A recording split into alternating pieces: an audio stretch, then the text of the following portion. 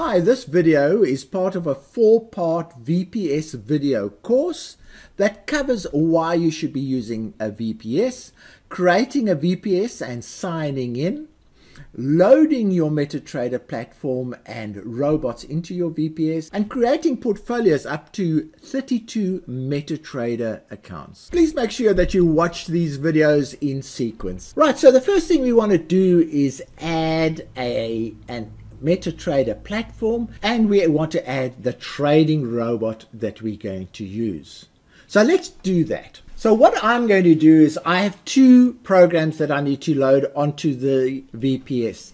The one is uh, the MetaTrader platform and I'm going to be using IG as my platform. So I need to load the IG setup and I also need to load uh, the Profit Retriever, which is the trading robot that I'm going to be using. So to do that, I actually load those files onto my own computer, my, my working computer, and I'll just show you very quickly. I've loaded them onto my desktop. So I've loaded them onto my desktop, and all I do now is I'm, I highlight both of them, right click and copy, and then then I go to my desktop, which is open as you can see now. I go to my file manager, I go to downloads, which should be empty, and I paste those two files in there. Now that is one of the benefits of this particular VPS. You can just copy and paste your files across. So there we are. I have my files that I want to used. And what I'm going to do straight away is I'm going to open the IG platform. And there we are. It says yes. And away we go. And it's opening the platform. And there is the icon on the on the screen. It might start opening now. So we're going to open a demo account. So we go next.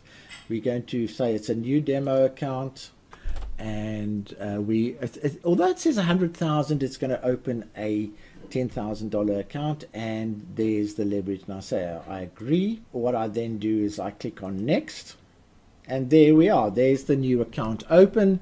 I say finish and what it will do it'll go and update all the charts straight away so now we have our platform in place. Okay, so the next thing is I'm going to uh, load the Profit Retriever. So I just click on the Profit Retriever. It is a setup file. There it is hiding behind there. I say yes, I accept, next. And there are only two ones. I'm only going to go for the, uh, I'll do both. It's fine. Install in the above instances. Might not like the one and away it goes.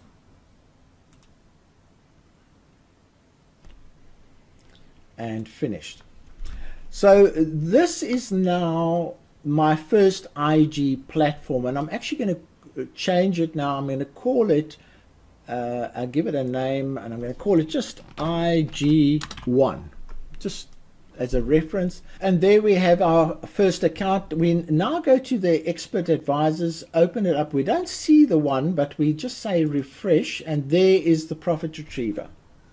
Okay, so now uh, we have one platform going. What I'm going to do is I'm going to set that platform up ready for trading. And I let's say we're going to trade the pound, which is on that that chart over there. That's the pound.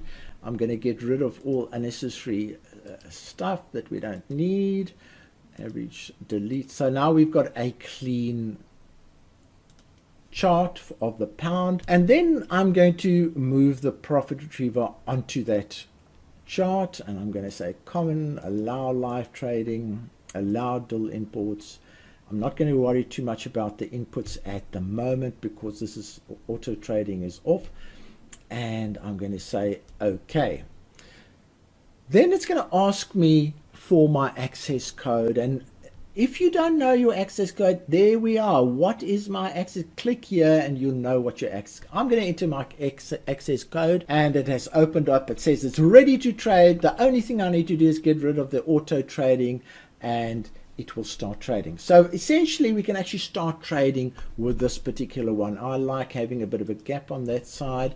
Um, but the big, now we need to start saving space because we are using a VPS and the VPS uh, is short of resources. So the, the first thing you need to do is close everything that you don't need.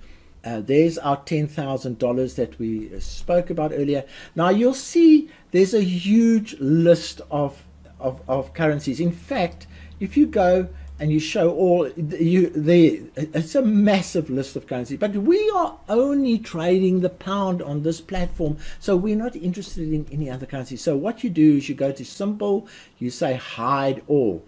It will hide everything else except the pound. So now it won't be updating the charts for the pound, which is fantastic. It's a huge resource saving. Okay, so now we're almost ready to trade. Now, what I normally do is I save the profile in the name of the platform that I want to remember it as, and this is going to be IG1. So I'm going to save this profile as IG1 and you'll see it appear at the bottom. There it is IG1 at the bottom of the screen. So platform is essentially ready to trade. Minimized it and there it is it is ready to trade. There's IG1 it, it has everything that it needs.